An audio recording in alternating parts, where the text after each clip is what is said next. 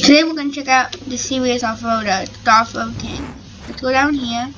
Yeah, there's no way I'm going to survive this. Oh, yep, I'm dead. Let's just go down to the end of the pit. Yeah. Let's just go this way, I guess. Oh yeah.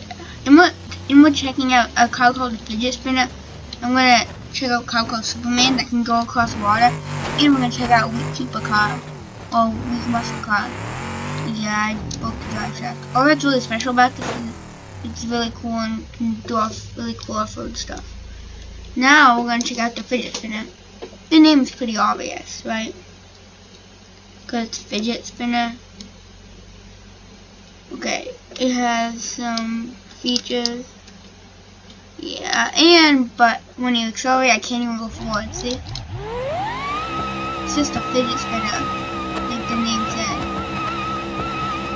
And, yeah, it's just a very powerful vehicle that can't even drive forward. Except, uh, that vehicle.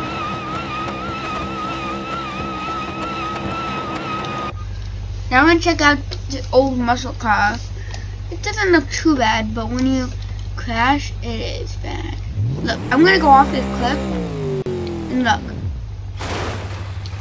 Look how much damage I took from that. If I go faster, I can rip off my front subframe. Just like that.